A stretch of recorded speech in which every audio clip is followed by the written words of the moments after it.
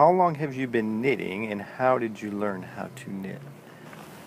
Well, the first time I tried knitting, I was nine years old and I didn't have much success at it. I tried again later when I was 16 and I made about half a scarf and then I quit. Then I, tr- I tried it again as an adult, made half a sweater and never finished it. But after I had my first baby, I was almost 30, I, um, I took it up again and I never stopped. And so, what do you know about the history of knitting? Well, knitting has been around for over a thousand years. Nobody knows exactly when people began to knit, but there have been fragments of knitted socks found in Egyptian tombs from 1100 AD. Um, knitting became popular as a cottage industry during the early 13 1400s good women knew how to knit. And it was something that the whole family could participate in to make extra money to bring in extra money. Usually the mom would spin the wool and dye it. Kids would gather the wool and then dad and the kids would sit around the fire uh, after dinner and knit socks for the rich people to wear the knitting machine was invented in the 1500s, but Elizabeth I refused to give it a patent because she felt that it would put cottage industry out of business. Hmm, that's interesting. So you mentioned you knitted as a child. You, you started to knit and you stopped, and then again as a teenager. Um, but where did you learn though? How did you learn how to knit? And, and you said after you had your first child, around the age of 30, that's when you you know you stayed with it, but who taught you? Where did you learn how to do what you do? Um, my grandma was a great knitter. She taught me the second time I started up, but really once I um, once when I started and didn't stop, I learned from a book. I just went and get got a little 30-page pamphlet from the store and completed some of the patterns in it and by then I was hooked.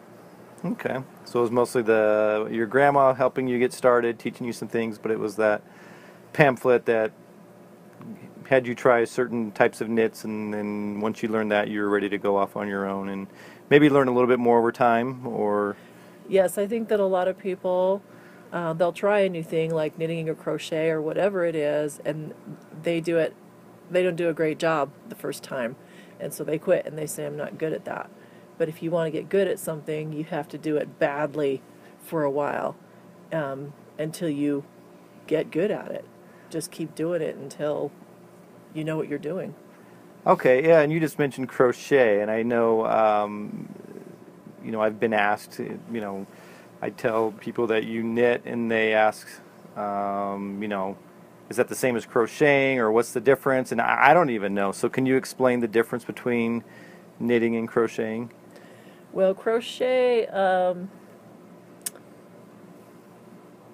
crochet is done with a hook, and you only work one loop at a time.